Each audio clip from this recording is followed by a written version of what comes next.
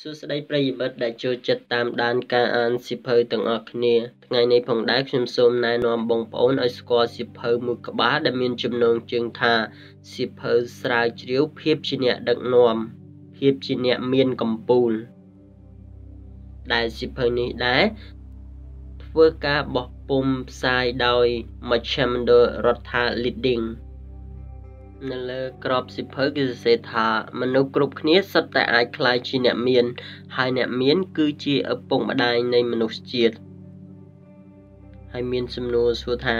តើធ្វើម៉េចដើម្បីក្លាយជាអ្នកមានពិតប្រាកដដើម្បីទទួលបាននៅចម្លើយនេះសូមបងប្អូនធ្វើការតាមដានស្ដាប់ដោយយកចិត្តទុកដាក់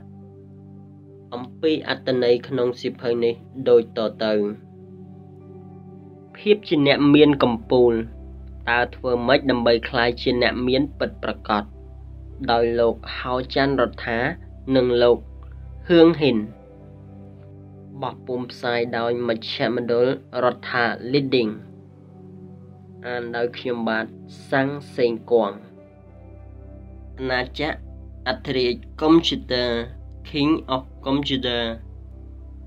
កម្ពុជាអ្នកមានពីការបង្កើតអាណាចក្រ កម្មវិធីកុំព្យូទ័រ Microsoft កុំព្យូទ័រគឺជាឧបករណ៍ដ៏មានអានុភាពបំផុត វាអាចជាឧបករណ៍សម្រាប់ទំនាក់ទំនង វាអាចជាឧបករណ៍សម្រាប់ការច្នៃប្រឌិត និងវាអាចជាឧបករណ៍ផ្សេងផ្សេងទៀតអាស្រ័យទៅលើអ្នកប្រើប្រាស់ខ្ញុំមិនដែលអនុញ្ញាតឲ្យក្រុមការងាររបស់ខ្ញុំរំភើបរីករាយនឹងភាពជោគជ័យរបស់ខ្លួនឡើយ។ បើទោះបីជាក្រុមហ៊ុន បានឈរក្នុងលំដាប់កម្ពស់ខ្ពស់បំផុតនៅក្នុងទីផ្សារនិងចំណេញប្រាក់រាប់ពាន់លានដុល្លារក៏ដោយ Gates គឺជាសហគ្រិនដ៏លេចធ្លោបំផុតរបស់ពិភពលោកគាត់គឺជាសហស្ថាបនិកក្រុមហ៊ុន Microsoft ដែលជាក្រុមហ៊ុនមួយមានកេរ្តិ៍ឈ្មោះបំផុតនៅក្នុងឧស្សាហកម្មកុំព្យូទ័រ ហើយសើតែគ្រប់កុំព្យូទ័រគឺមានកម្មវិធី Microsoft គាត់គឺជាសុបិនរបស់ជនជាតិអាមេរិកគាត់មិនត្រឹមតែធ្វើឲ្យក្រុមហ៊ុនរបស់គាត់ជោគជ័យបំផុតនោះទេ គឺគាត់ថែមទាំងបានរក្សាការងារជាកម្ពូលអ្នកមានបំផុត និងមានចិត្តសប្បុរសបំផុតនៅលើភពផែនដីនេះសម្រាប់រយៈពេលជាង23ឆ្នាំមកហើយ នៅដើមឆ្នាំ2017នេះ ទ្រព្យសម្បត្តិសរុបរបស់គាត់ គឺមានជាង80,000លានដុល្លារ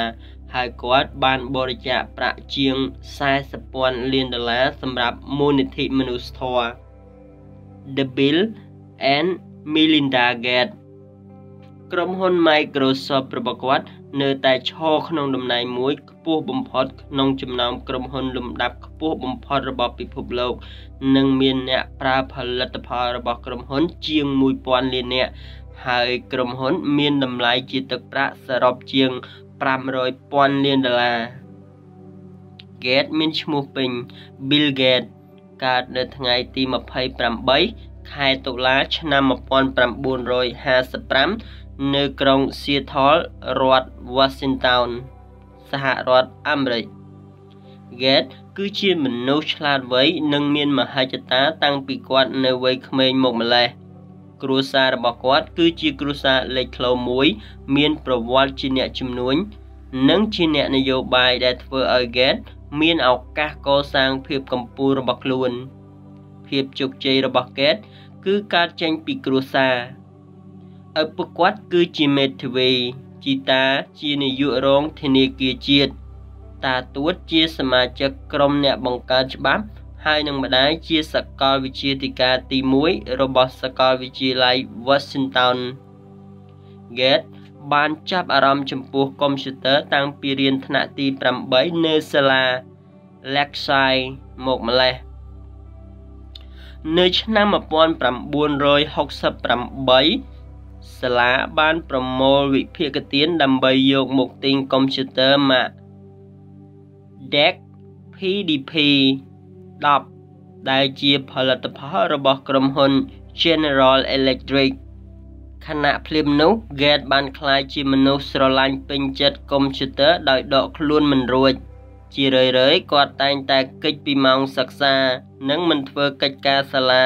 ហហើយបែរជាចំណាយពេលវេលាសំងំនៅក្នុងបន្ទប់កុំព្យូទ័រដើម្បីស្រាវជ្រាវពីម៉ាស៊ីនថ្មីនេះ នៅវ័យ13ឆ្នាំ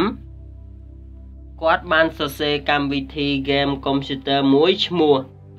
Tic Tac Toe ការស្រាវជ្រាវនៅក្នុងបន្ទប់ពិសោធន៍កុំព្យូទ័រនេះ បានធ្វើឲ្យគាត់ជួបនឹងសហស្ថាបនិកក្រុមហ៊ុន Microsoft ឈ្មោះ Paul Allen និងអ្នកបង្កើតកម្មវិធីកុំព្យូទ័រជាច្រើនរូបទៀតដែលក្រុមហ៊ុនបានជួលពួកគេឲ្យមកធ្វើការ ដើម្បីបន្តពង្រីកជំនាញរបស់ខ្លួន Gates និងមិត្តភ័ក្តិបានចាប់ផ្ដើមប្រើប្រាស់កុំព្យូទ័រនៅកន្លែងធ្វើការរបស់ឪពុក Allen នៅក្នុងសាកលវិទ្យាល័យ Washington បន្ទាប់ពី Gates បានបង្កើតកម្មវិធីទូទាត់ប្រាក់ខែឲ្យក្រុមហ៊ុន Information Science Inc ប្រកបដោយជោគជ័យរួចមកគាត់និង Allen បានសម្រេចចិត្តអភិវឌ្ឍនៅសុបិនរបស់ពួកគាត់ឆ្នាំ1973ខណៈដែលរៀននៅវិទ្យាល័យមិនទាន់ចប់ផង Gate បានចុះឈ្មោះចូលរៀនថ្នាក់ត្រៀមផ្នែកច្បាប់នៅសាកលវិទ្យាល័យ Harvard ប៉ុន្តែមិនខុសពីពេលរៀននៅវិទ្យាល័យទេ Gate តែងតែគេចពីម៉ោងសិក្សាដើម្បីចូលក្នុងបន្ទប់ពិសោធន៍កុំព្យូទ័រ គាត់ នៅតែរក្សាទំនាក់ទំនងយ៉ាងជិតស្និទ្ធជាមួយនឹង Allen និងមានគំនិតចង់ធ្វើជំនួញផ្នែកកម្មវិធីកុំព្យូទ័រជាមួយគ្នាពេលរៀនមិនបានមួយឆ្នាំផង Gates បានឈប់រៀននៅសាកលវិទ្យាល័យ Harvard ហើយអ្នកទាំងពីរបានរួមគ្នាបង្កើតក្រុមហ៊ុនឈ្មោះ Microsoft Corporation ទស្សនវិស័យរបស់ក្រុមហ៊ុន គឺ គ្រប់កុំព្យូទ័រនៅលើតុមានកម្មវិធី Microsoft ដោយសារគំនិតល្អក្នុងការធ្វើជំនួញរបស់ Gates បានធ្វើឲ្យ Microsoft មានសិទ្ធិបង្កើតកម្មវិធី និងអាចលក់អាជ្ញាប័ណ្ណដល់ក្រុមហ៊ុនចែកចាយផ្សេងផ្សេងរាប់មិនអស់កម្មវិធី MS DOS បានក្លាយជាស្តង់ដារឧស្សាហកម្មកុំព្យូទ័រដែល Microsoft លក់បាន7លានដុល្លារក្នុងឆ្នាំ1980និង16លានដុល្លារនៅឆ្នាំបន្ទាប់រយៈពេល3ឆ្នាំក្រោយមក Microsoft បានបន្តរីកលូតលាស់និងបន្តគ្រប់គ្រងឧស្សាហកម្មកុំព្យូទ័រស្ទើរតែទាំងមូល មុននឹងក្រុមហ៊ុន Apple បានដាក់បង្ហាញកុំព្យូទ័រ Mac Macintosh របស់ខ្លួននៅឆ្នាំ1900 84 Gates បានដឹងថាគូប្រកួតប្រជែងដ៏ស្រួចស្រាលរបស់ខ្លួនគឺក្រុមហ៊ុន Apple ជាការឆ្លើយតបទៅនឹងការប្រកួតប្រជែងនេះ Gates បានប្រកាសលក់ភាគហ៊ុនជាសាធារណៈដើម្បីបង្កើនដើមទុនសម្រាប់អភិវឌ្ឍកម្មវិធី Windows ខណៈកម្មវិធី Windows មិនទាន់ទទួលបានជោគជ័យផង Gates មានសង្ឃឹមថា ការប្រកាសលក់ភាគហ៊ុននឹងធ្វើឲ្យគាត់ក្លាយជាអ្នកមានទ្រព្យសម្បត្តិច្រើនជាងគេបំផុតនៅក្នុងពិភពលោក ក្រុមហ៊ុនបានបន្តលេចធ្លោយ៉ាងខ្លាំងតាមរយៈការផលិតកម្មវិធីរបស់ខ្លួននៅឆ្នាំ1993ហើយ85%នៃកុំព្យូទ័រនៅក្នុងពិភពលោកនេះ គឺប្រើកម្មវិធី Windows របស់ Microsoft ការកើនឡើងនៃភាពជោគជ័យរបស់ Gates គឺមិនមែនកើតឡើងដោយស្រួលស្រួលទេ ក្រុមហ៊ុនតែងតែមានរឿងក្តីក្តាំងនៅក្នុងតុលាការជាញឹកញាប់ជាពិសេសរឿងក្តីកម្មសិទ្ធិបញ្ញាជាមួយក្រុមហ៊ុន Apple និងរឿងក្តីតាក់ទងនឹងនិរន្តរភាពនៃសិទ្ធិផ្ដាច់មុខនិងការរារាំងដល់ការអភិវឌ្ឍបច្ចេកវិទ្យាថ្មីៗជាមួយរដ្ឋាភិបាលអាមេរិក។ បើទោះបីជាមានរឿងក្តី និងការធ្វើសម្បទានខ្លះៗក៏ដោយក៏ក្រុមហ៊ុននេះនៅតែបន្តពង្រីកខ្លួន និងបានរក្សានៅភាពនាំមុខគេនៅក្នុងឧស្សាហកម្មនេះដដែលពីការចាប់ផ្ដើមអាជីវកម្មពីកន្លែងដាក់ឡានជាមួយនឹងមិត្តភ័ក្តិ Gates បានធ្វើឲ្យ Microsoft ក្លាយជាក្រុមហ៊ុនដែលមានឥទ្ធិពលបំផុតក្នុងការផ្លាស់ប្ដូរពិភពលោក នៅឆ្នាំ1995 Gates បានក្លាយជាជនជាតិអាមេរិកដែលមានទ្រព្យសម្បត្តិច្រើនជាងគេបំផុតក្នុងពិភពលោកគាត់បានក្លាយជាអ្នកដឹកនាំម្នាក់ក្នុងចំណោមអ្នកដឹកនាំដ៏ឆ្នើមនិងអស្ចារ្យបំផុតសម្រាប់ពិភពលោកបច្ចុប្បន្ន ហើយគាត់ក៏ជាអ្នកនាំមុខគេក្នុងការធ្វើឲ្យមានបដិវត្តបច្ចេកវិទ្យាកុំព្យូទ័រសម័យទំនើបនិងបានជួយជំរុញបង្កើតយុគសម័យព័ត៌មានវិទ្យាឲ្យកើតមានលើភពផែនដីនេះពិតប្រាកដនៅឆ្នាំ2000 Gates បានលាឈប់ពីតំណែងជាប្រធាននាយកប្រតិបត្តិរបស់ក្រុមហ៊ុន និងបានមកបង្កើតមូលនិធិ Bill and Melinda Gates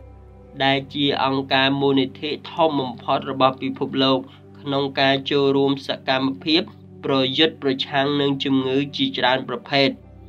ក៏ដូចជាចូលរួមលើកកម្ពស់វិស័យអប់រំនិងបរិស្ថាន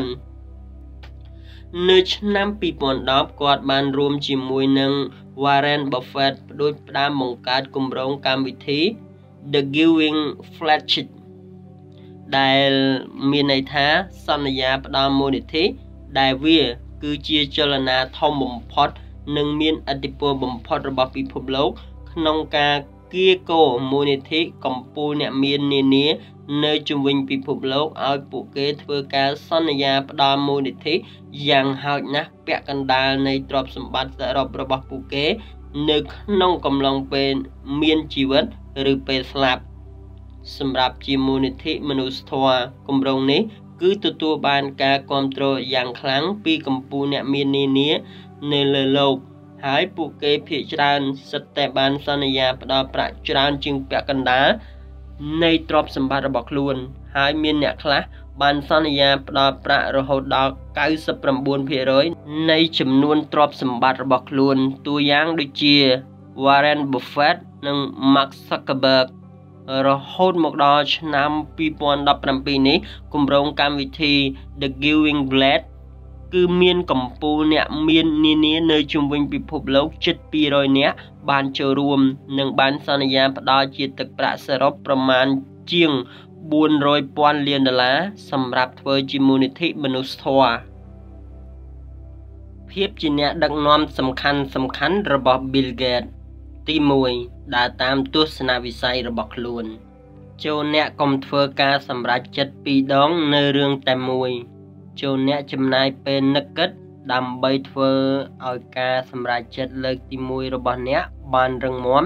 និងមិនត្រូវពិនិត្យឡើងវិញនៅរឿងមិនចាំបាច់ប្រសិនបើអ្នកមានឆន្ទៈបើកកកាយនៅរឿងចាស់វាមិនត្រឹមតែរំខានដល់ការអនុវត្តប៉ុណ្ណោះទេ តែវាថែមទាំងរំខានដល់ការសម្រេចចិត្តដែលអ្នកបានសម្រេចចិត្តទៀតផងដូច្នេះហេតុអ្វីបានជាអ្នកត្រូវសម្រេចចិត្តបើអ្នកមិនសម្រេចចិត្តពិតប្រាកដផងនោះការងារសំខាន់បំផុតដែលខ្ញុំបានធ្វើគឺកុំព្យូទ័រ Gate និយាយថានៅពេលខ្ញុំធំឡើងអាយុ10ឆ្នាំ20ឆ្នាំ30ឆ្នាំហើយខ្ញុំមិនងាយរៀបការ គឺពីព្រោះតែកុំព្យូទ័រទាំងនេះគឺជាជីវិតរបស់ខ្ញុំ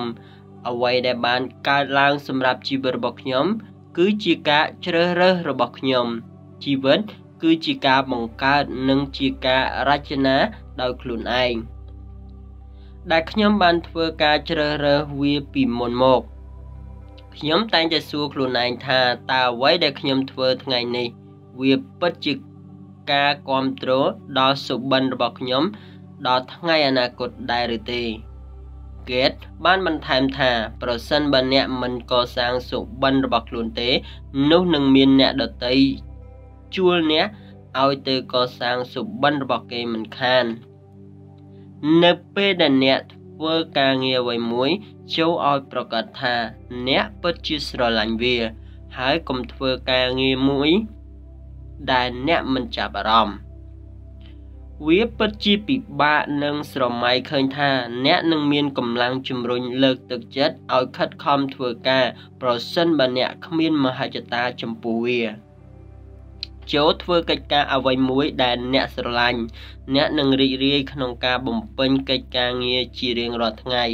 ហើយភាពជោគជ័យនឹងរត់មករកអ្នកមិនខាន ទស្សនវិស័យរបស់យើង គឺពុំដែលមានការផ្លាស់ប្ដូរឡើយ តាំងពីថ្ងៃចាប់ផ្ដើមបង្កើតក្រុមហ៊ុន Gates និយាយថាតាំងពីនៅវ័យជំទង់ Allen និងខ្ញុំបានសម្រេចចិត្តថាលទ្ធភាពនៃការធ្វើឲ្យគ្រប់ផ្ទះនិងគ្រប់អាជីវកម្មមានកម្មវិធី Microsoft គឺជាគោលដៅប្រកបនិយម ហើយវាពិតជាអាចធ្វើទៅរួច Microsoft គឺជាក្តីស្រមៃរបស់ខ្ញុំនិង Allen ពីអ្វីដែលអាចធ្វើទៅបានជាមួយកម្មវិធី software ពោលគឺគំនិតដែលអ្នកអាចទិញ PCS ពីក្រុមហ៊ុនផលិត hardware ផ្សេងផ្សេងគ្នា ហើយបន្តមកដាក់ឲ្យដំណើរការដោយកម្មវិធី Microsoft ដូចគ្នា នៅពេលបង្កើតក្រុមហ៊ុន Microsoft ដំបូងដំបូងខ្ញុំនិងសហការីដែលជាអ្នកបង្កើតកម្មវិធី បានធ្វើការដោយមិនគិតម៉ោងពេល ដើម្បីបំពេញតាមពេលវេលា ដែលបានកំណត់ និងគោលដៅដែលប្រាថ្នាចង់បាន វាគឺដោយសារអាកប្បកិរិយាប្រញាប់ប្រញាល់ចង់ឲ្យសម្រេចបានរបស់ខ្ញុំទើបធ្វើឲ្យក្រុមហ៊ុន មានការរីកចម្រើនយ៉ាងឆាប់រហ័ស នៅគ្រប់ពេលដែលក្រុមហ៊ុនពង្រីកផលិតផល គឺវាសុទ្ធតែនៅរក្សាគោលគំនិតដើមរបស់ពួកខ្ញុំ Gate បន្ថែមថាយើងតែងតែដឹងថាយើងមិនចង់មានផលិតផលតែមួយ ដែលជាផលិតផលលេចធ្លោទេ យើងចង់ជួលអ្នកដែលមានជំនាញកម្មវិធី software ឲ្យបានច្រើន ហើយនឹងផលិតឲ្យមានផលិតផលគ្រប់មុខ ការធ្វើដូច្នេះគឺពិតជាបានធ្វើឲ្យទស្សនវិស័យរបស់ខ្ញុំคล้ายជាការពិតខ្ញុំបានដឹកនាំក្រុមហ៊ុនឲ្យធ្វើការបត់បែនគ្រប់បែបយ៉ាង ដើម្បីអភិវឌ្ឍឲ្យបាននៅផលិតផលគ្រប់ប្រភេទយើងមិនដែលមើលឃើញខ្លួនយើង មានដែនកំណត់ទេដរាបណាឲ្យតែមានកម្មវិធី software ការអភិវឌ្ឍធនធានមនុស្ស ដែលពោពេញដោយទេពកោសល្យគឺជាគន្លឹះដ៏សំខាន់សម្រាប់ធ្វើឲ្យការងារបានកាន់តែល្អប្រសើរហើយវានឹងអាចលក់បានទំហំដ៏ច្រើនជាក់ជាមិនខានទស្សនវិស័យនៅតែជាផ្នែកមួយដ៏សំខាន់នៃការងាររបស់ខ្ញុំ ហើយវាគ្មានទីបញ្ចប់ឡើយបើឆ្លោះបញ្ចាំងពីសមិទ្ធផលរបស់ Microsoft ជាង40ឆ្នាំកន្លងមកនេះវាគ្រាន់តែទៅនឹងចាប់ផ្ដើមប៉ុណ្ណោះការព្យាករអំពីអនាគតកុំព្យូទ័រគឺនឹងមានការពាក់ព័ន្ធច្រើនទៅនឹងការងារអប់រំ ការងារទំនាក់ទំនង ការងារអភិវឌ្ឍការងារនយោបាយ ការងារទីផ្សារការងារបច្ចេកទេស និងការផ្លាស់ប្ដូរការងារគ្រប់គ្រង និងដឹកនាំស្ថាប័នឡាក់ ខ្ញុំបានមើលឃើញពីតួនាទីដ៏សំខាន់របស់កុំព្យូទ័រហើយថាកម្មវិធី software នឹងអាចនាំមុខគេនិងផ្ដល់នូវភាពងាយស្រួលក្នុងការប្រើប្រាស់ធានាសុវត្ថិភាព និងអាចបំពេញបាននៅគ្រប់តម្រូវការ Gate យល់ថាកុំព្យូទ័រគឺជាឧបករណ៍ដ៏មានអានុភាពបំផុត វាអាចជាឧបករណ៍សម្រាប់ការទំនាក់ទំនង វាអាចជាឧបករណ៍សម្រាប់ការច្នៃប្រឌិត និងវាអាចជាឧបករណ៍ផ្សេងផ្សេងទៀតអាស្រ័យលើអ្នកប្រើប្រាស់បច្ចេកវិទ្យាព័ត៌មាននិងអាជីវកម្មគឺកំពុងคล้ายជាការរួមបញ្ចូលគ្នា ហើយខ្ញុំគិតថាគ្មាននរណាម្នាក់អាចនិយាយអំពីអត្តន័យមួយ ដោយមិននិយាយអំពីអត្តន័យមួយទៀតនោះទេទី2 អភិវឌ្ឍក្រុមការងារឲ្យមានសមត្ថភាពខ្ពស់បំផុត Gates និយាយថា Microsoft មានមនុស្សដែលមានគំនិតឆ្លៀសវៃច្រើនណាស់ប៉ុន្តែជារូបភាពគេនិយាយថាគំនិតឆ្លាតវៃទាំងអស់នេះកើតមកពីមេដឹកនាំកម្ពុជាទៅវិញខ្ញុំគិតថាវាមិនត្រឹមត្រូវទេភាពល្បីល្បាញនៅក្នុងក្រុមហ៊ុនជាង40ឆ្នាំកន្លងមកនេះ គឺដោយសារការចូលរួមជួយពីបុគ្គលិកដែលមានសមត្ថភាពច្រើនណាស់ទើបធ្វើឲ្យក្រុមហ៊ុនទទួលបានជោគជ័យនៅពេល Alan និងខ្ញុំ បានជួបគ្នាដំបូងនៅសាលា Lakeside ពួកយើងបានបង្កើតចំណងមិត្តភាពដ៏រឹងមាំដោយសារការស្រឡាញ់ពេញចិត្តកុំព្យូទ័រហើយចំណងមិត្តភាពនេះ គឺជាចំណងមិត្តភាពសម្រាប់មួយជីវិត ការស្គាល់ពីចំណុចខ្លាំងនិងចំណុចខ្សោយ ការស្គាល់ពីចំណង់ចំណូលចិត្តនិងការពេញចិត្តនិងការមានជំនឿចិត្តចំពោះគ្នាទៅវិញទៅមក បានធ្វើឲ្យយើងខ្ញុំ ទាំងពីរបង្កើតក្រុមហ៊ុនដ៏ជោគជ័យបំផុតមួយ នៅក្នុងចុងសតវត្សទី20និងដើមសតវត្សទី21នេះ Gates ទទួលស្គាល់ថាសារៈសំខាន់នៃការជឿទុកចិត្តគ្នាពិតប្រាកដបាននាំឲ្យមិត្តរួមថ្នាក់នៅវិទ្យាល័យពីរនាក់របស់គាត់គឺ Rick Whelan និង Mark McDonald ចូលមកធ្វើការក្នុងក្រុមហ៊ុន និងបានក្លាយជាក្រុមការងារស្នូលរបស់ក្រុមហ៊ុន Gates យល់ថាប្រសិនបើក្រុមហ៊ុនមានដំណើរការមិនល្អគឺដោយសារការខិតខំប្រឹងប្រែងធ្វើការ និងភាពជឿទុកចិត្តគ្នាមានកម្រិតទាបចាប់តាំងពីថ្ងៃទី1នៃការងារគាត់បានយល់ពីសារៈសំខាន់នៃក្រុមការងារតូចៗដែលអាចចូលរួមជាមួយគ្នានិងធ្វើការជាមួយគ្នាដោយភាពរីករាយដើម្បីឆ្ពោះទៅសម្រេចបាននូវគោលដៅរួមនៅពេល Gate ផ្លាស់ប្ដូរប្រតិបត្តិការរបស់ក្រុមហ៊ុននៅក្រុង Seattle ឆ្នាំ1979គាត់មានបុគ្គលិកចំនួន16នាក់តែក្រោយមក នៅពេលក្រុមហ៊ុនមានការរីកចម្រើន ក្រុមហ៊ុនមានតម្រូវការបុគ្គលិកកាន់តែច្រើន ហើយគាត់បានបន្តនាំមិត្តជឿទុកចិត្តនិងមានចរិតល្អៗឲ្យមកធ្វើការជាមួយ ដោយរាប់បញ្ចូលទាំងមិត្តរបស់គាត់ នៅតាមមហាវិទ្យាល័យដូចជា Steph Ballmer ដែលជាអ្នកទទួលបន្ទុកខាងធនធានមនុស្ស Gates និយាយថា Ballmer និងខ្ញុំខិតខំប្រឹងប្រែងលើការងារអាជីវកម្មហើយ Allen និងខ្ញុំខិតខំប្រឹងប្រែងលើការងារបច្ចេកវិទ្យាជោគជ័យរបស់យើង គឺពិតជាពឹងផ្អែកលើភាពជាដៃគូ ដែលយើងមានតាំងពីចំណុចចាប់ផ្ដើមក្រុមហ៊ុនមកម្លេះការផ្លាស់ប្ដូរក្រុមហ៊ុននៅក្រុង Seattle បានផ្ដល់អត្ថប្រយោជន៍ជាច្រើនដល់ក្រុមហ៊ុន វាបានធ្វើឲ្យក្រុមហ៊ុន មានលទ្ធភាពជ្រើសរើសបេក្ខជន ដែលមានជំនាញផ្សេងផ្សេងជាច្រើនដើម្បីយកមកធ្វើការ នៅក្នុងពិភពកម្មវិធី software យើងមានមនុស្សឆ្លាតវៃច្រើនណាស់ ដែលយើងបានជួលក្រុមមនុស្សអស្ចារ្យអស្ចារ្យពីពិភពផ្សេងផ្សេងគ្នាភាគច្រើននៃអ្នកអភិវឌ្ឍកម្មវិធីរបស់យើង គឺយើងចង់ឲ្យពួកគេមានគំនិតយល់ច្បាស់និងមិនអាចអូសទាញបានដោយអ្នកដទៃឡើយគន្លឹះសំខាន់គឺយើងចង់ឲ្យពួកគេរៀនពីរបៀបដែលយើងចូលចិត្តអភិវឌ្ឍកម្មវិធី software និងដាក់ការខិតខំប្រឹងប្រែងរបស់ពួកគេទៅលើការងារ Gates បានបន្ថែមថាក្រុមហ៊ុននៅតែបន្តស្វែងរកធនធានមនុស្សដែលល្អបំផុត ដើម្បីជួយឲ្យក្រុមហ៊ុន នៅតែនាំមុខគេក្នុងពិភពនៃការប្រកួតប្រជែងដ៏ខ្លាំងក្លានេះគន្លឹះសំខាន់បំផុតសម្រាប់យើង គឺជួលមនុស្សដែលឆ្លាតបំផុតគ្មានមធ្យោបាយណាមួយ ឲ្យទទួលបានមនុស្សឆ្លាតទេ យើងត្រូវតែជាវីរៈជនដ៏ឆ្នើមក្នុងការជ្រើសរើសធនធានមនុស្ស95%នៃមនុស្សមិនអាចសរសេរកម្មវិធី software ដ៏ស្មុគស្មាញបានទេ មានតែការជួលធនធានមនុស្សល្អបំផុតឆ្លាតវៃបំផុតនិងអនុវត្តការងារជាក្រុមតូចៗទេ ទើបអាចបង្កើតឲ្យមានការគិតនិងការច្នៃប្រឌិតពេញលេញ ហើយវានឹងធ្វើឲ្យក្រុមហ៊ុននៅតែអាចគ្រប់គ្រងបាន សម្រាប់ការប្រកួតប្រជែងជាង4ទសវត្សរ៍មកនេះ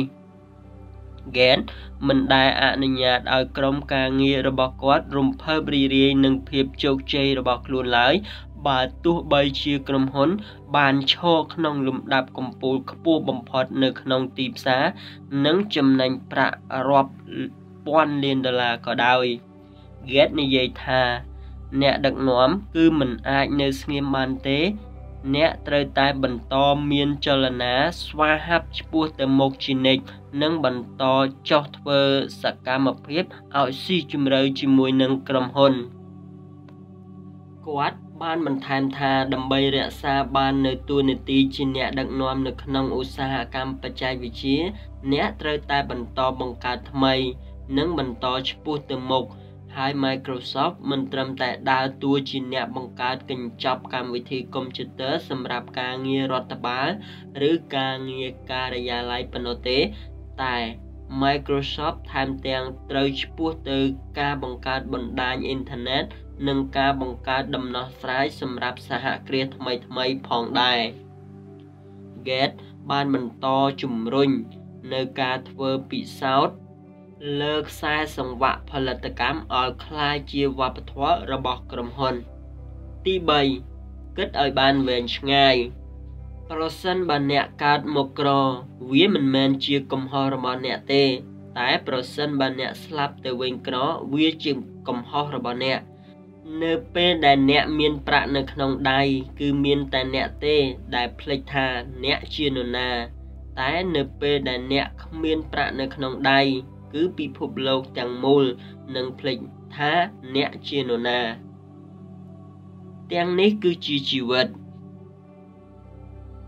តែទោះបីជាយ៉ាងណា Gate មិនព្រមព្យាយាមដើម្បីគ្រាន់តែធ្វើឲ្យក្រុមហ៊ុនคล้ายជាក្រុមហ៊ុនសាធារណៈ និងคล้ายជាអ្នកមាននោះទេ Gate និយាយថាវាមិនមែនជារឿងសម្រាប់រយៈពេលខ្លីធ្វើឲ្យបានទេ តែវាជារឿងសម្រាប់សតវត្សទៅមុខវាគ្មានទេការគិតខ្លីដែលគិតមួយជំហានមុនអ្នកដតីនោះកត្តាគន្លឹះមួយដែលខ្ញុំចូលរួមធ្វើ ឲ្យក្រុមហ៊ុនសម្រេចបាននៅទួលនីតិនាំមុខគេ នៅក្នុងឧស្សាហកម្មកុំព្យូទ័រនេះ គឺការផ្ដោតជាទូទៅ របស់ក្រុមហ៊ុន សម្រាប់គោលដៅរយៈពេលវែងដោយសារតែទស្សនវិស័យរបស់យើងផ្ដោតទៅលើតែកម្មវិធី software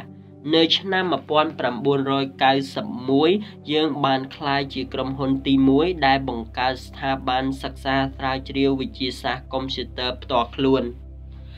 តាមរយៈនៃការបង្កើតស្ថាប័ននេះយើងបានឈរនៅលំដាប់កំពូលនៃការអភិវឌ្ឍបច្ចេកវិទ្យាថ្មីថ្មី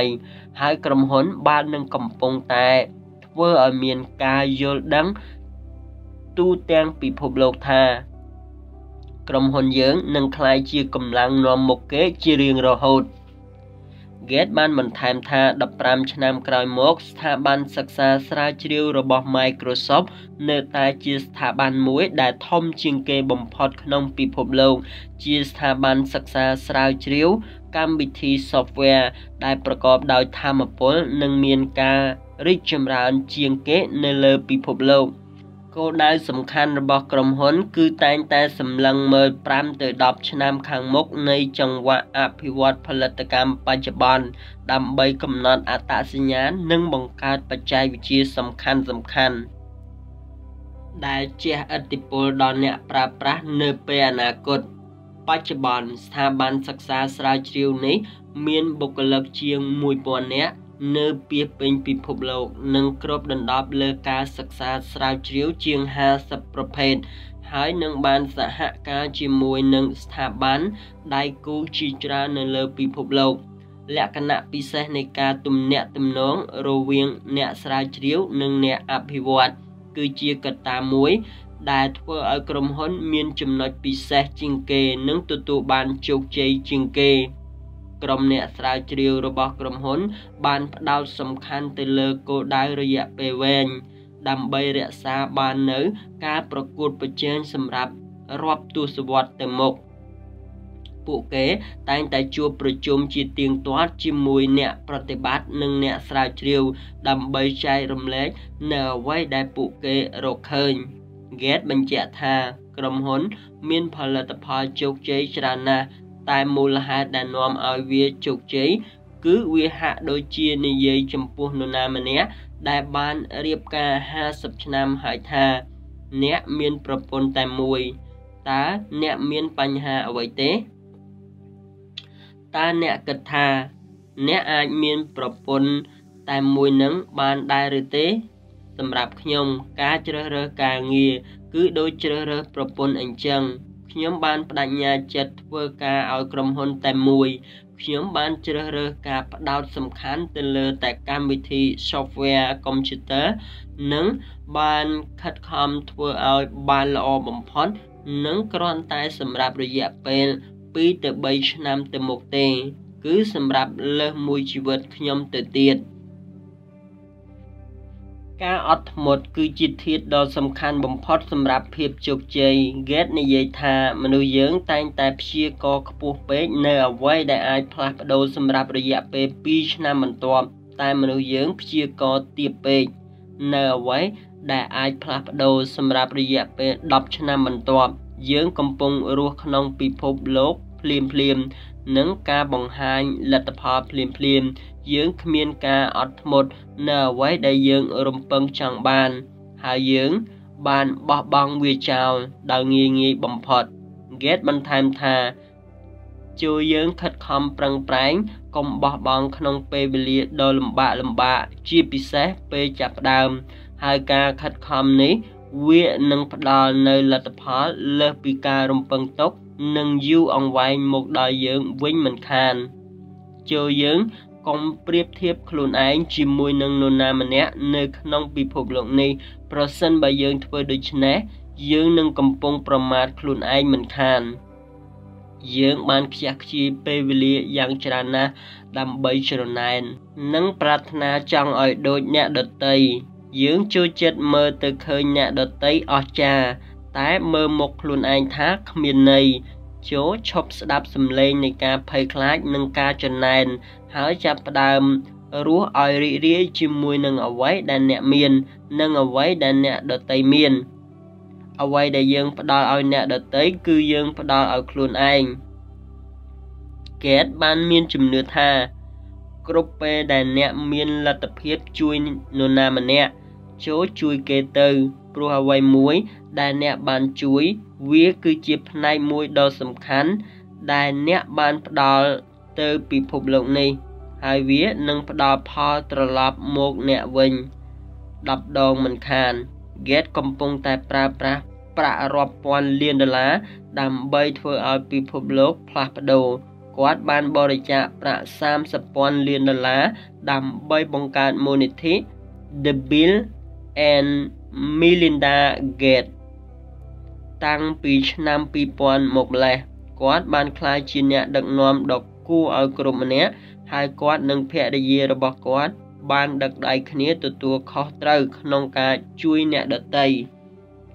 ពួកគាត់បានផ្ដោតលើការទទួលខុសត្រូវសង្គមក្នុងនាមជាប្រជាពលរដ្ឋរបស់ពិភពលោក ហើយពួកគាត់បានប្រើប្រាស់សមត្ថភាពបទពិសោធន៍ ការទំនាក់ទំនងពេលវេលា ប្រកាសនិងភាពជាអ្នកដឹកនាំរបស់ពួកគាត់ ដើម្បីធ្វើការងារមនុស្សធម៌នៅជុំវិញពិភពលោក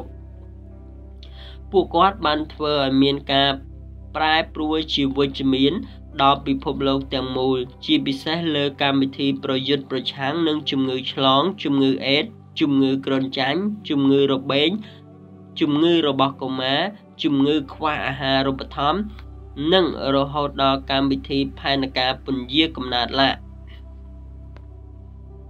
ទោះបីជាកេតបានក្លាយជាកម្ពុជាអ្នកមានជាងគេនិងជោគជ័យជាងគេនៅក្នុងចំនួននេះក៏ដោយ តែអ្វីដែលសំខាន់បំផុតដែលនាំឲ្យគាត់បន្តខិតខំធ្វើការដោយមិនខ្លាចនឿយហត់គឺដើម្បីធ្វើឲ្យប្រសើរឡើងនៅជីវិតរបស់មនុស្សជាតិនិងការ ពារសេចក្តីស្លាប់តាមរយៈសកម្មភាពការងារសប្បុរសធម៌របស់គាត់ Gates ជឿថាគ្រប់ការញញឹមគ្រប់ការជួយយកអាសា គ្រប់ការស្រឡាញ់គ្រប់ការពេញចិត្តសម្រាប់រឿងល្អៗគឺវាតែងតែនឹងផ្ដល់ផលត្រឡប់មកអ្នកវិញ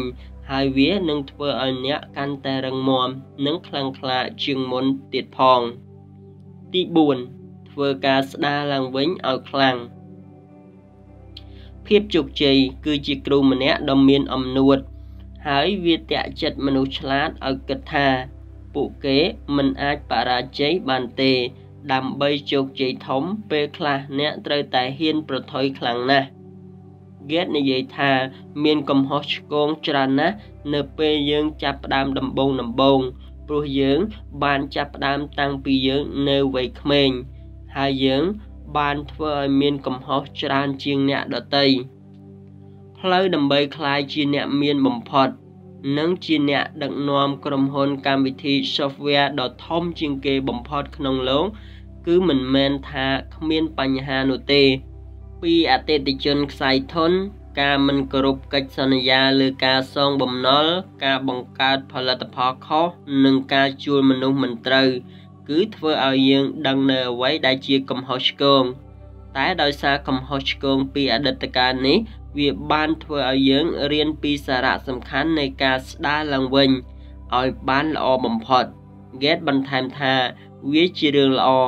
ដែលអបអរសាទរនឹងភាពជោគជ័យប៉ុន្តែអ្វីដែលសំខាន់ជាងនេះទៀតគឺត្រូវយកចិត្តទុកដាក់ទៅលើមេរៀននៃភាពបរាជ័យ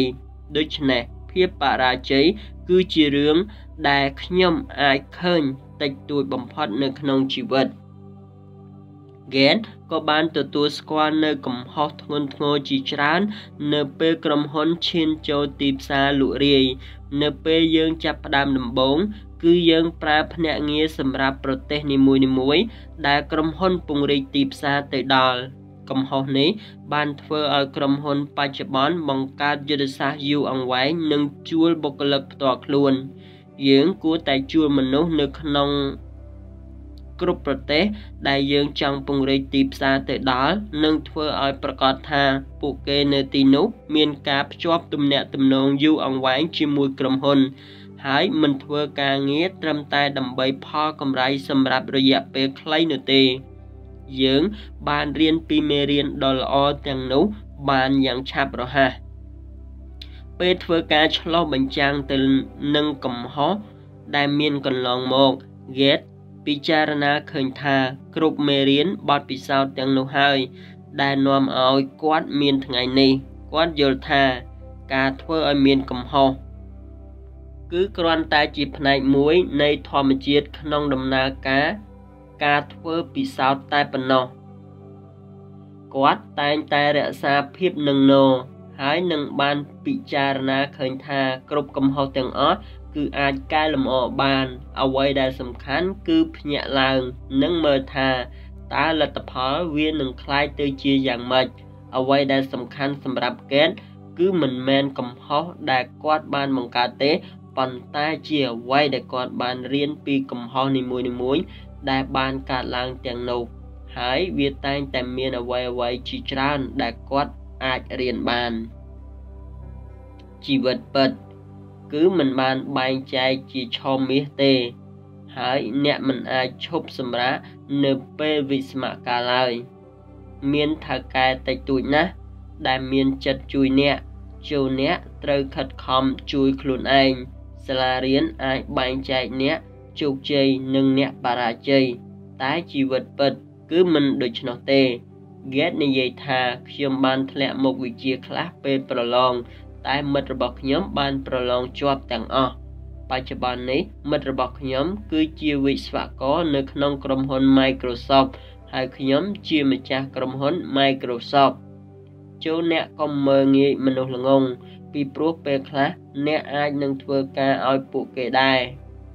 ចូលអ្នកកុំស្អប់មនុស្សខ្ជិលពីព្រោះមនុស្សខ្ជិលអាចស្វែងរកដំណោះស្រាយងាយងាយសម្រាប់ការងារលំបាកបានចូលអ្នកកុំស្អប់អតិថិជនមិនសប្បាយចិត្តពីព្រោះពួកគេ គឺជាប្រភពនៃការរៀនសូត្រដ៏អស្ចារ្យបំផុតសម្រាប់អ្នក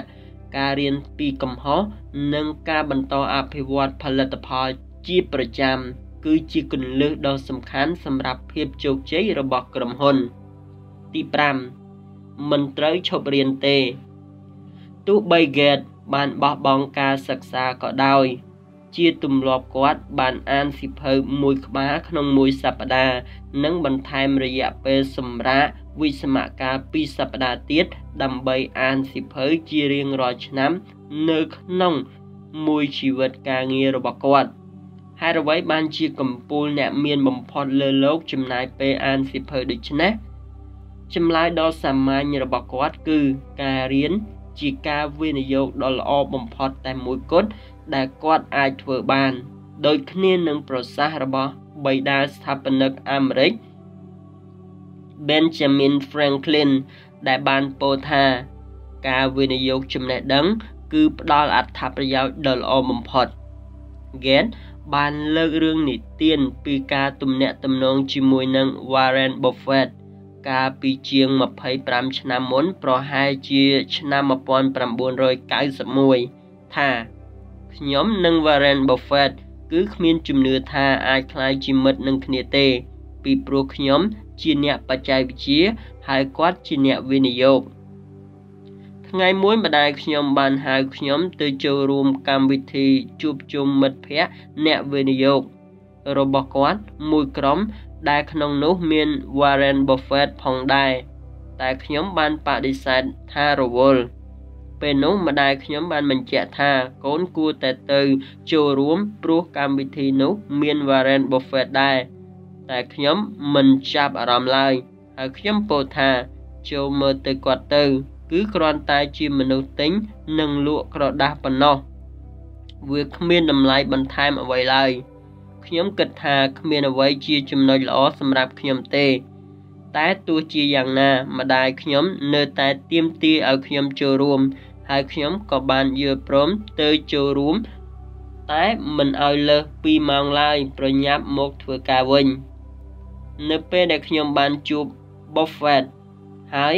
គាត់បានចាប់ផ្ដើមសួរសំណួរអំពីអាជីវកម្មផលិតកម្មវិធីកុំព្យូទ័រ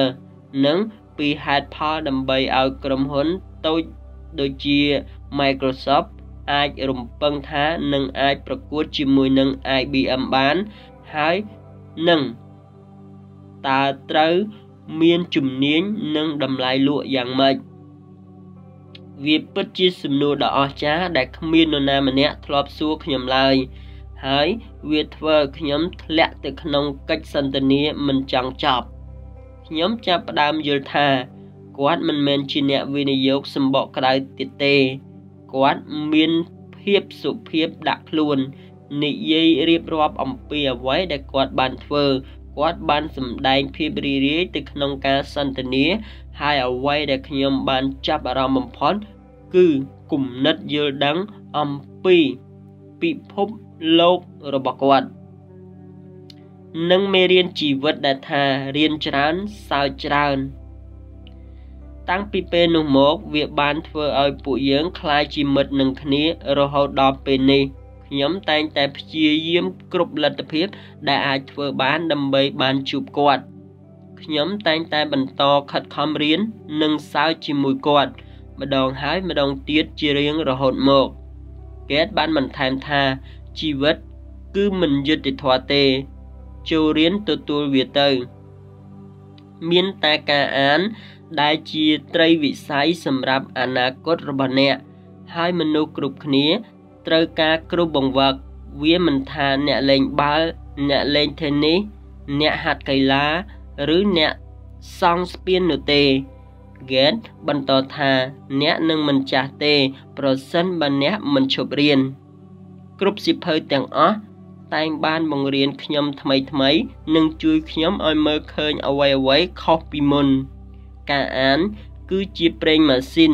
ដែលបានជួយខ្ញុំឲ្យយល់ដឹងពីពិភពលោក ការអាន បានជួយជាកម្លាំងសម្រាប់អាជីពការងាររបស់ខ្ញុំ និងកិច្ចការមូលនិធិរបស់ខ្ញុំគ្រប់ពេលបច្ចុប្បន្ននិងអនាគតខ្ញុំចូលចិត្តយកទស្សនាបដី Time មកមើលនិងអានគ្រប់អត្ថបទទាំងអស់ តាំងពីចាប់ផ្ដើមរហូតដល់ចប់ ដោយមិនគ្រាន់តែអានតែចំណុចណាដែលខ្ញុំចាប់អារម្មណ៍នោះទេ ការធ្វើបែបនេះធ្វើឲ្យខ្ញុំបានរៀនពីអ្វីដែលខ្ញុំបានដឹងកាលពីមុនមកការរៀនគឺជាធាតុផ្សំដ៏សំខាន់ក្នុងការធ្វើឲ្យអាជីវកម្មជោគជ័យ ពេលណាដែលអ្នកមិនបើកចិត្តទទួលយកគំនិតផ្សេងផ្សេងរបស់អ្នកដទៃនោះមានន័យថាអ្នកបានបិទខ្លួនឯងពីឱកាសដ៏អស្ចារ្យរបស់អ្នកដទៃដែលកំពុងរងចាំអ្នកនៅក្នុងអាជីវកម្មនៅពេលដែលអ្នកដឹងថាអ្នកមានបញ្ហា គឺវាយឺតពេលទៅហើយដើម្បីស្រោចស្រង់វាប្រសិនបើអ្នកដឹកនាំក្រុមហ៊ុន មិនមានការភ័យខ្លាចគ្រប់ពេលវេលាទេ នោះក្រុមហ៊ុនរបស់អ្នកនឹងដួលរលំមិនខាន ដើម្បីឲ្យ Microsoft នៅតែរក្សាបាននូវការប្រកួតប្រជែងរបស់ខ្លួន សម្រាប់ជាង4ទសវត្សរ៍មកនេះ វាជាការសំខាន់ណាស់សម្រាប់ខ្ញុំនិងនិយោជិតទាំងអស់គឺជំរុញឲ្យមានដំណើរការរៀនឥតឈប់ឈរសម្រាប់ខ្ញុំអ្វីដែលខ្ញុំមិនដឹង គឺនៅតែជាអ្វីដែលខ្ញុំមិនដឹងនៅឡើយ Gates មានប្រសាសន៍ថាលទ្ធភាពនៃការបើកចំហដើម្បីផ្លាស់ប្ដូរនិងការបន្តព្យាយាម ធ្វើឲ្យប្រសើរឡើងឥតឈប់ឈរសម្រាប់ខ្លួន និងអាជីវកម្មគឺមានសារៈសំខាន់ខ្លាំងណាស់សម្រាប់ភាពជោគជ័យមនុស្សតែងតែខ្លាចការផ្លាស់ប្ដូរមនុស្សតែងតែខ្លាចភ្លើងអគិសនី គឺដោយសារតែមកពីភាពអវិជ្ជា ហើយភាពអវិជ្ជានឹងនាំឲ្យមានការភ័យខ្លាច ប្រសិនបើអ្នកអវិជ្ជានឹងអ្វីអ្វីនៅជំវិញខ្លួនអ្នកហើយអ្នកឈប់សួរថាតើធ្វើម៉េចឲ្យល្អប្រសើរនោះអ្នកនឹងមានវាសនាបរាជ័យជាក់ជាមិនខាន នៅក្នុងពិភពការប្រកួតប្រជែងដ៏ខ្លាំងក្លានៃបច្ចេកវិទ្យាកុំព្យូទ័រដូចជាក្រុមហ៊ុន Google និងក្រុមហ៊ុន Apple គឺកំពុងតែក្លាយជា ការគំរាមកំហែងយ៉ាងខ្លាំងក្លាមកលើ Microsoft ទាំងនេះវាមិនមែនជាការលំបាកសម្រាប់តែ Gates ត្រូវរ៉ាប់រងម្នាក់ឯងនោះទេ Gates បន្ថែមថាមានមនុស្សច្រើនណាស់បានសន្មតថាខ្ញុំទទួលបានជោគជ័យគឺដោយសារភាពឆ្លាតវៃកម្រិតខ្ពស់របស់ខ្ញុំប៉ុន្តែសម្រាប់ខ្ញុំ ភាពឆ្លាតវៃគឺជាគំនិតដែលមិនអាចយកជាការបានទេ ភាពជោគជ័យគឺការចេញពីការបន្តរៀនឥតឈប់ឈរភាពមុតស្រួចលទ្ធភាពសម្របខ្លួនទៅនឹងព្រឹត្តិការណ៍ថ្មីថ្មីការសួរសំណួរពោពេញទៅដោយខ្លឹមសារគឺវាមិនតាក់ទងទៅនឹងភាពឆ្លាតវៃឡើយប៉ុន្តែវាជាប់តាក់ទងទៅនឹងការចង់ដឹងចង់ចេះដែលយើងត្រូវព្យាយាមជំរុញបុគ្គលិក និងលើកទឹកចិត្តពួកគេ មិនត្រឹមតែស្វែងរកចម្លើយឲ្យពួកគេនោះទេ គឺថែមទាំងត្រូវចេះសួរសំណួរឲ្យបានត្រឹមត្រូវទៀតផង Gate និយាយថាសម្រាប់ខ្ញុំ មិនថាខ្ញុំបានចំណាយពេលវេលាសម្រាប់ធ្វើអ្វីខ្លះក្នុងជីវិតនោះទេ តែខ្ញុំមិនដែលឈប់សួរសំណួរនិងមិនដែលឈប់រៀនទេមិនថាខ្ញុំជាសហគ្រិន ជាគ្រូពេទ្យ ឬជាអ្នកអភិវឌ្ឍកម្មវិធី software ទេ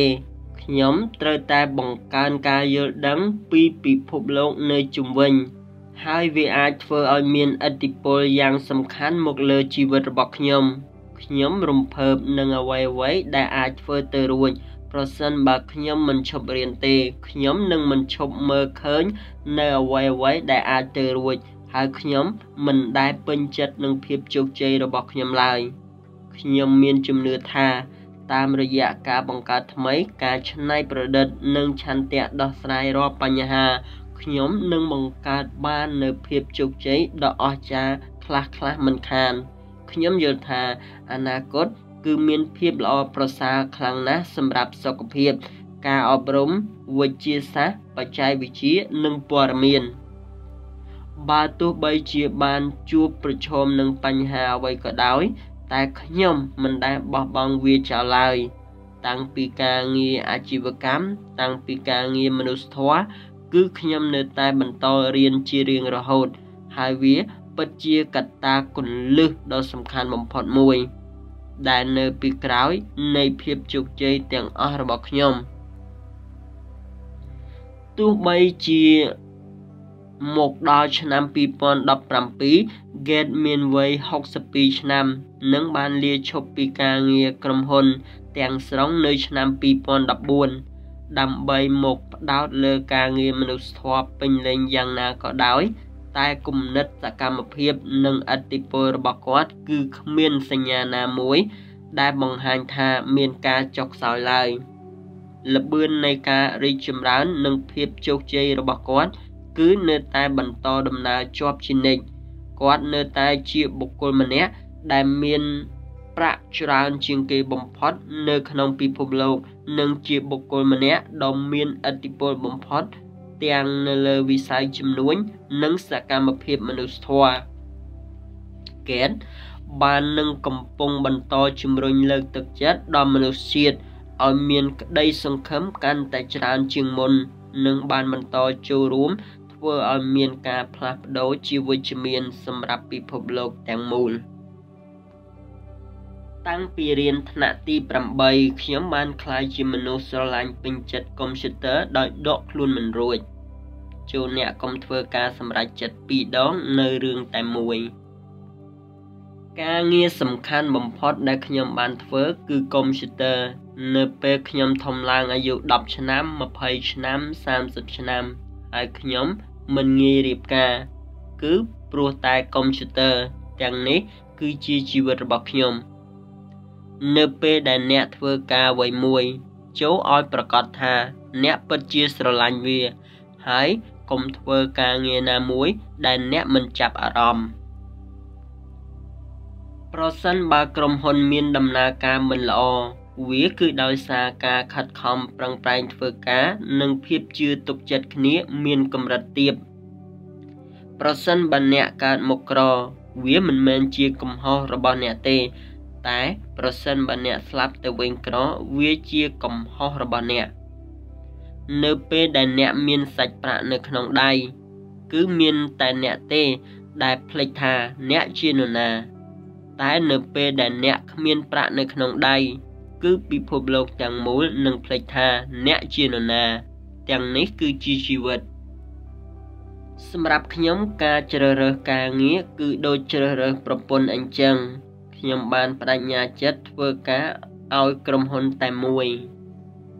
ភាពជោគជ័យគឺជាគ្រូម្នាក់ដ៏មានអំណួត ហើយវាតាក់ចិត្តមនុស្សឆ្លាតឲ្យគិតថា